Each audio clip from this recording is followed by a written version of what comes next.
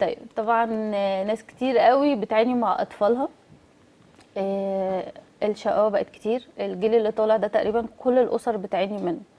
فإحنا كده لو هنبدأ كده step by step يعني واحدة واحدة هنقول طيب إزاي أنا أقدر أبني نفسيه طفلي تمام. السؤال ده حلو جدا.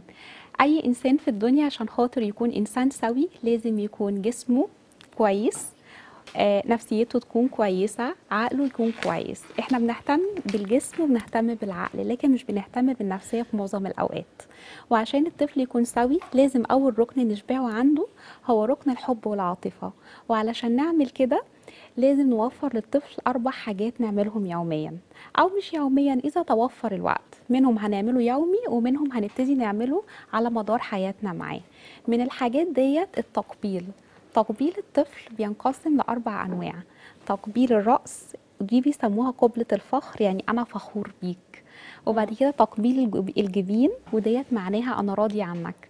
وبعدين تقبيل الوجنتين معناها أنا مشتاق لك وبعدين تقبيل الإيدين دي معناها أنا بحبك وبتدل على الود زي ما كان النبي صلى الله عليه وسلم بيعمل مع السيدة فاطمة. ده أول ركن. آه الحاجة التانية عايزة أقول لك يا دكتور إن ال control بيقول لي إن هو أول مرة يسمع الكلام الجامد ده. أنت قلبة الدنيا بصراحة من ساعة ما جيتي الحلقة دي. يبارك فيكي. الحاجة التانية إن أنا أجيب له هدية. الهدايا من أكتر الحاجات اللي بتفرح الأطفال. الحاجة التالتة إن أنا ألعب معاه وإن أنا أهزر معاه زي ما النبي صلى الله عليه وسلم كان بيعمل مع الحسن والحسين. آخر حاجة إن أنا أقابله بسعادة إن أنا أستقبله بطريقة كويسة. زي ما بستقبل أي ضيف لما بيجيلي يكون في ابتسامة لما أشوفه أفتح له دراعاتي أقول له دورت الدنيا أنت منور حياتي الحاجات دي كلها. ده بالنسبة للركن الأول اللي هو ركن إشباع العاطفة والحب.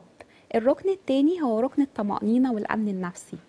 ودوت المفروض إن إحنا بنوفر للطفل بعض الحاجات برضو زي إيه؟ إن أنا ما أفضلش بين الولاد وبين بعضهم إن أنا ما أفضلش الولاد عن البنات إن أنا أكون قدوة حسنة في تصرفاتي قدام ابني وإن أنا أبعد خالص عن الخلافات الزوجية.